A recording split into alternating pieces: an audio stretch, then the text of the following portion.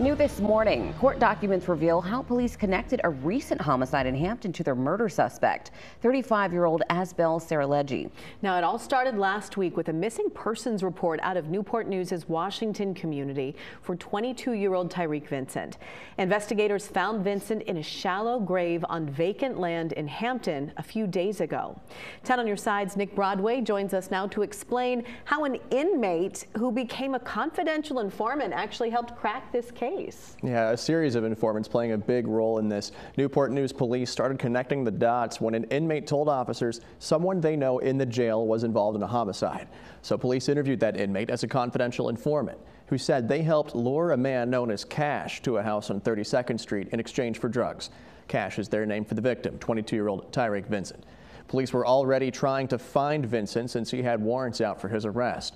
While at home, 35-year-old Azbel Saralegi told the informant to not ask about Vincent, saying he's, quote, gone.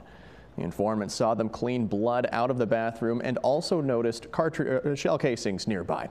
Now, officers later found out someone was killed at that home on September 20th, the same day Vincent was last seen alive.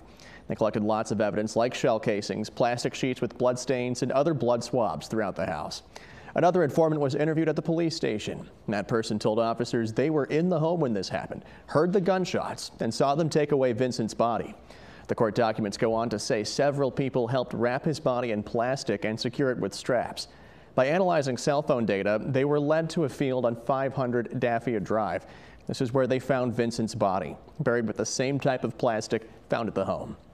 The documents note Sarah Saralegi told multiple informants that he shot Vincent. Sarah Saralegi was arrested after a police chase on September 23rd.